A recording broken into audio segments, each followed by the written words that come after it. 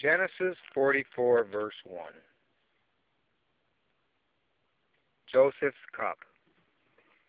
And he commanded the steward of his house, saying, Fill the men's sack with food, as much as they can carry, and put each man's money in the mouth of his sack. Also put my cup, the silver cup, in the mouth of the sack of the youngest, and his grain money. So he did according to the word that Joseph had spoken. As soon as the morning dawned, the men were sent away, they and their donkeys. And they had gone out of the city and were not yet far off. Joseph said to his steward, Get up, follow the men, and when you overtake them, say to them, Why have you repaid evil for good? Is not this the one from which my Lord drinks, and with which he indeed practices, practices divination? You have done evil in so doing.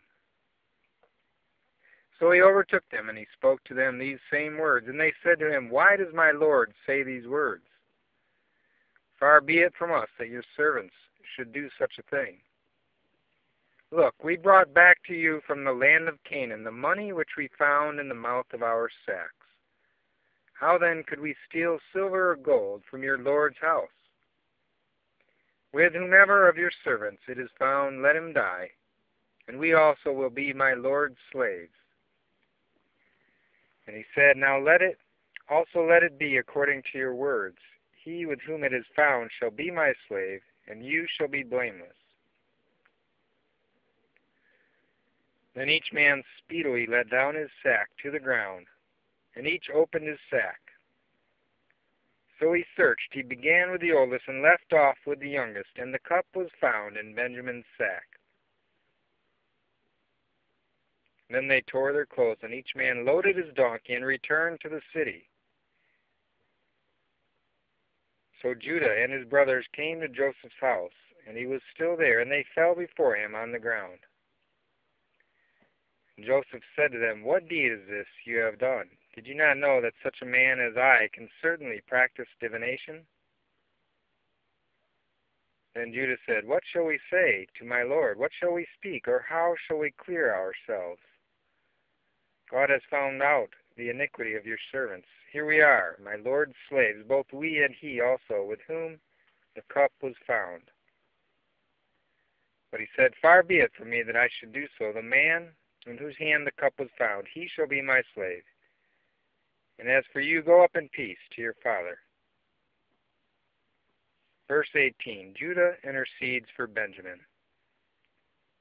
Then Judah came near to him and said, O my lord, please let your servant speak a word in my lord's hearing, and do not let your anger burn against your servant. For you are even like Pharaoh.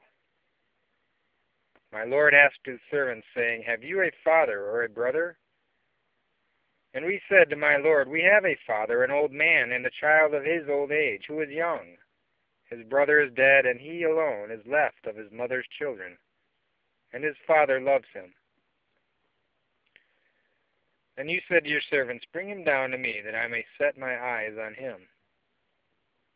And we said to my Lord, The lad cannot leave his father, for if he should leave his father, his father would die.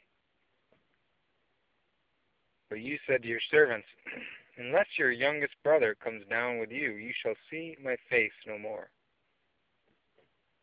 So it was when we went up to your servant my father that we told him the words of my Lord. And our father said, Go back and buy us a little food. But we said, We cannot go down. If our youngest brother is with us, then we will go down. For we may not see the man's face unless our youngest brother is with us. And your servant, my father, said to us, You know that my wife bore me two sons. And the one went out from me and said, And I said, Surely he is torn to pieces. And I have not seen him since.